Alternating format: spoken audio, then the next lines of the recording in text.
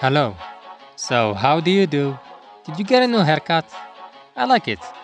So after the video where I talked about chapter 41 of Rebuild World, some of you wanted more of the same kind of video.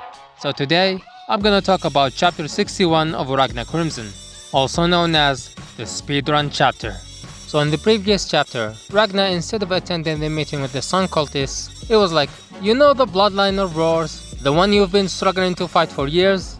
I'ma take care of it for you, real quick, no sweat. I got you, homie! So he goes to the giant chasm where they live at.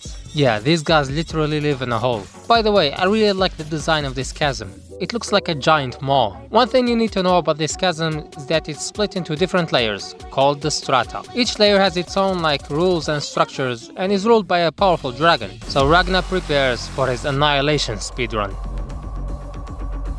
And start the time, Ragna jumps straight in. What's that? Parachute, landing. Honey, you're talking about the guy who literally fought in space. Gravity is a suggestion to him. So he reaches the first layer. This layer has a hallucinogenic fog that makes people see dreams, leaving them easy prey for the dragons. But joke's on you, it doesn't matter if it's good or bad, Ragna only dreams about killing dragons. And you even had the audacity to throw lower dragons on him? Shame on you, Mr. High Dragon. Look at you chilling with your book and your snack. Is that a pancreas? Fancy. Now back to Ragna. Oh shoot, he already broke through to the next layer. Wait, he didn't come to kill you? Oh wow. He really said you're not worth his time. He didn't even give you the courtesy of saying it to you. Damn, that's cold. Anyway, sucks to be you. Now Ragna is in the second layer, the Limitless Labyrinth. A gigantic and convoluted maze. Surely it would take him multiple chapters to get through. Dragon Hunting Flash! Flash! Flash! Flash! Why are we still here? Flash! Flash! Flash! Flash! Just to suffer. Wait, stop! You're hurting his feelings!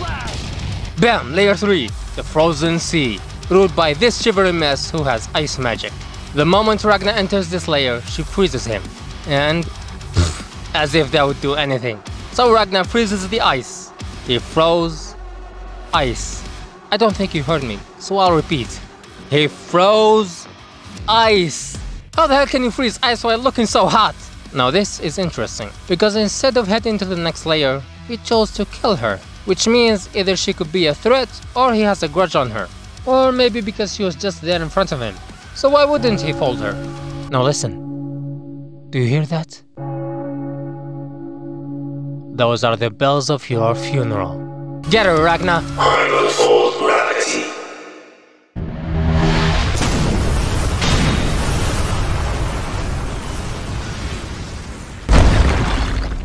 You lucky lizard.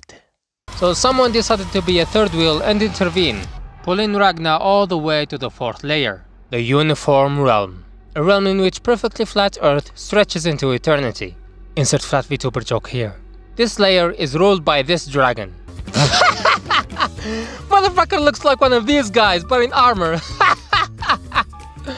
Uh, they have the power to control gravity.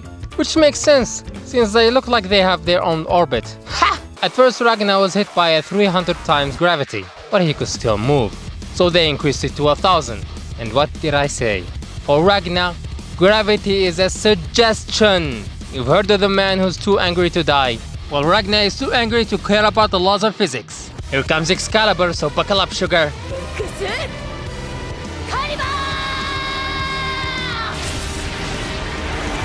But someone intervenes.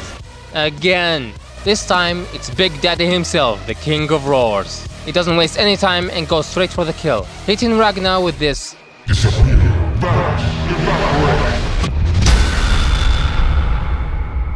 and he still couldn't kill Ragna. Mind you, this is the same guy who just shifted space. And all his attack did was teleport Ragna back to the cliff.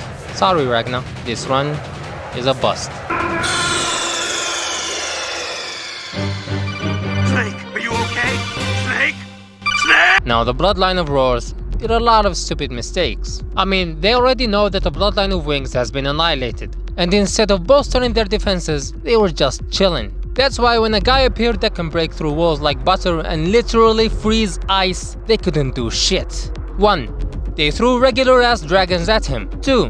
They tried to trap him within walls. And finally, the biggest mistake they did was having only one high class dragon in each floor. Going for a 1v1 against Ragna is probably the dumbest decision you could ever make. That's why you had to be saved by them, and you had to be saved by him, and you still couldn't kill him. Honestly, this chapter was awesome.